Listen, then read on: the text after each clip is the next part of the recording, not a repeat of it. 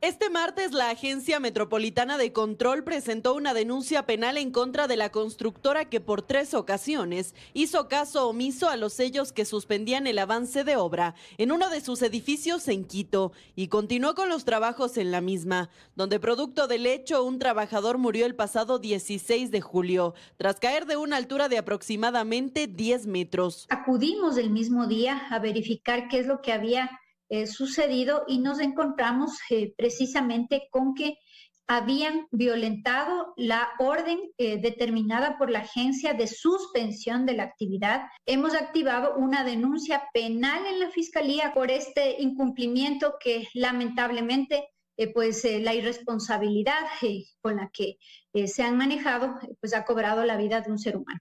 Según la autoridad, la primera alerta se emitió en noviembre de 2023, la segunda en mayo de 2024 y este 10 de julio, apenas seis días antes del fallecimiento de uno de los trabajadores, se volvió a colocar los sellos de suspensión de obra. Por ello, según Villalba, la constructora deberá pagar al menos por ahora 22.500 dólares. Sin embargo, esta cifra podrá aumentar tomando en cuenta la repetida violación a la ley municipal.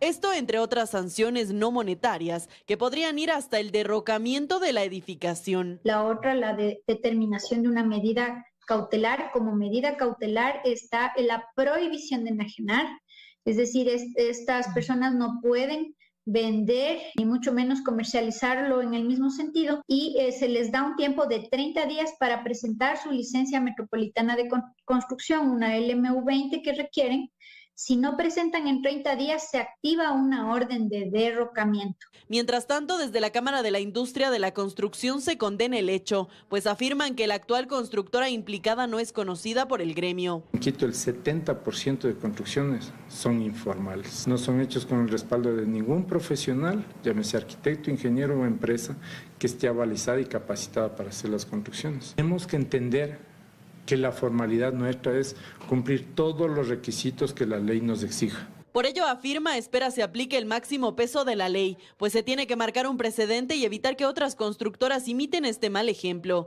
pues incluso se denuncia el trabajo en obras suspendidas en horas de la noche y madrugada. No es prudente ni sensato el que uno, a las sombras de la ley, tengamos que abrir nuevamente nuestra actividad. La ley es la ley.